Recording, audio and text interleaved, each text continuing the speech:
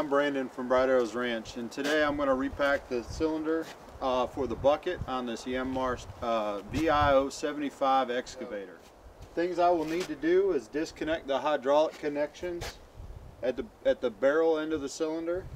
I will need to remove the pin here that goes between the H-link and the dog bones. So I'll take this retaining bolt out, drive that pin out.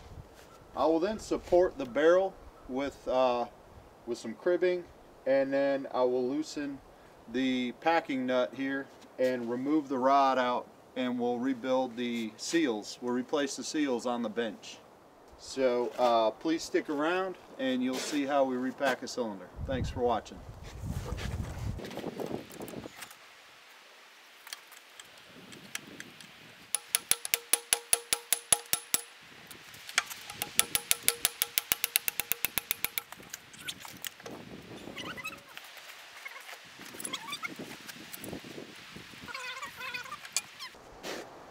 So a lot of these hydraulic cylinders have some kind of tool to unscrew the gland or the, the packing nut.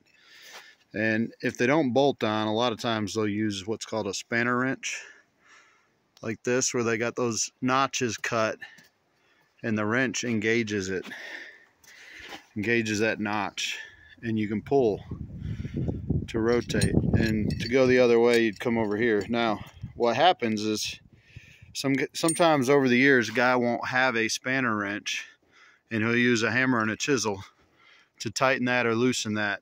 And that's okay I would say other than it tears it up and eventually you're gonna have to come up with a new method because you'll end up rounding all the edges off. And uh, this one here we were able to get with just the regular spanner wrench so that's nice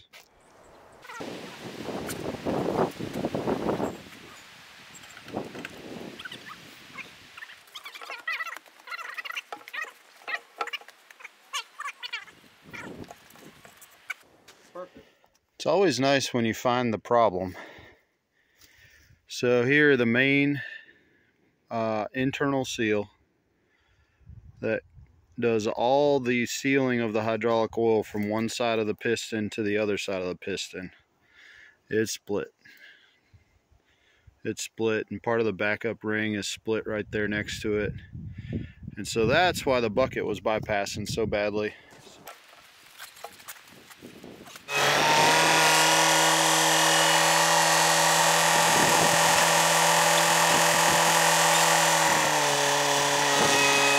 That's the only hydraulic torque wrench I have.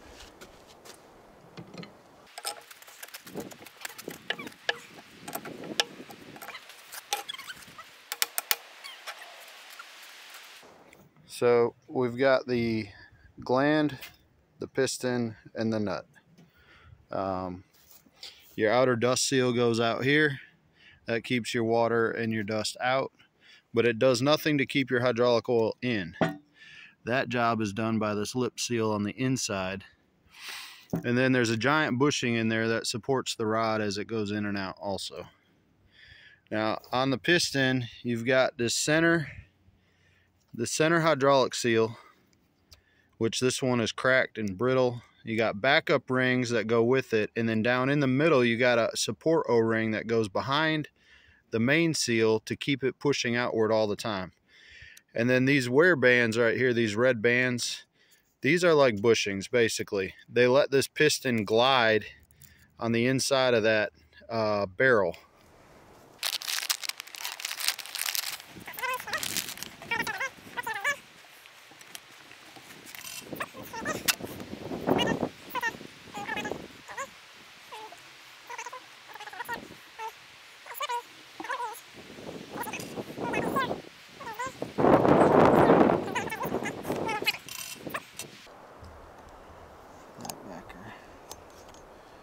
There's the lip seal and the backup ring that was behind it.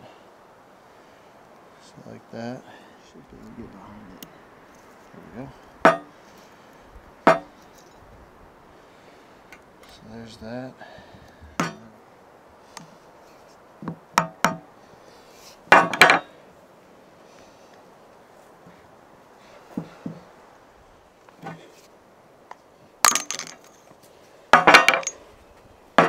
Thank you.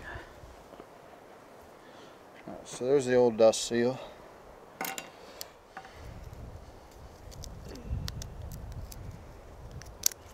Slip off that wear band.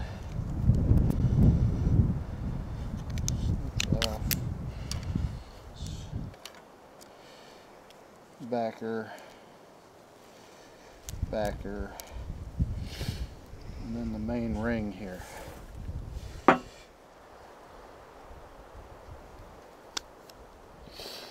just kind of roll this big fat seal off of there. There we have it. It's all stripped down.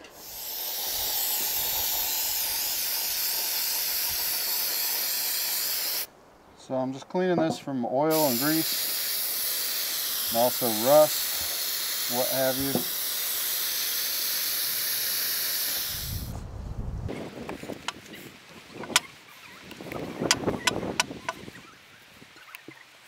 There's the new lip seal with the lip facing inward and the backing ring behind it.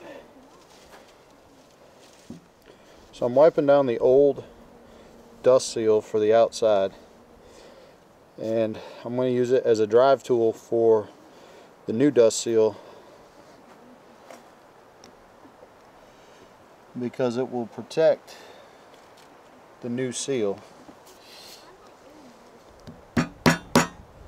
when I install it.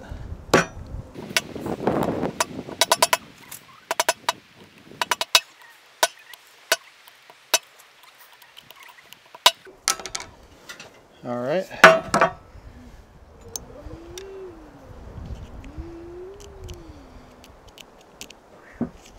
All right, snap ring is in. And now we've got to do the outside.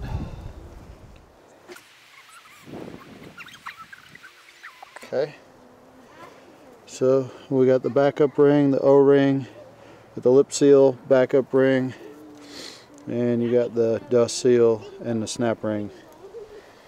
Now we also have a new steel lock ring. And basically this is supposed to get on, uh, put installed here and tighten down very tight Let's see. And then you bend that tab and you hold it into the uh,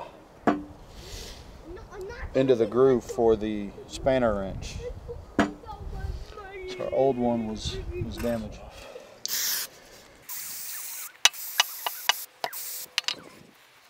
So obviously I got to be more careful stretching the new bands around so we don't break them. Um, but they're pretty resilient they do stretch and go back to shape pretty well. Just kind of roll it right back in. Let it shrink down a little bit.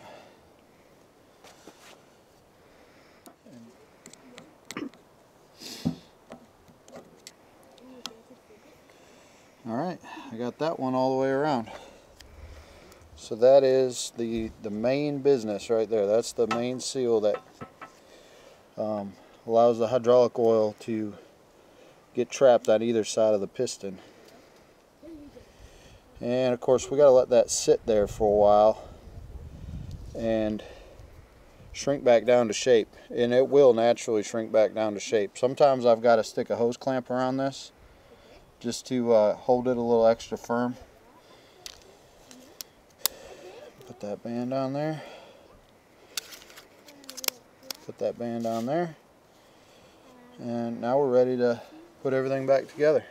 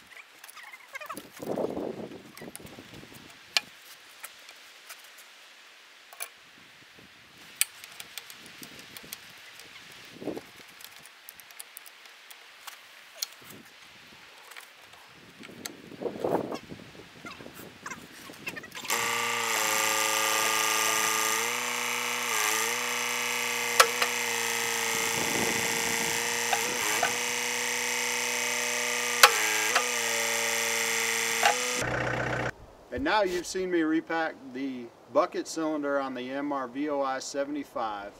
I'm Brandon from Bright Arrows Ranch. Thanks for watching.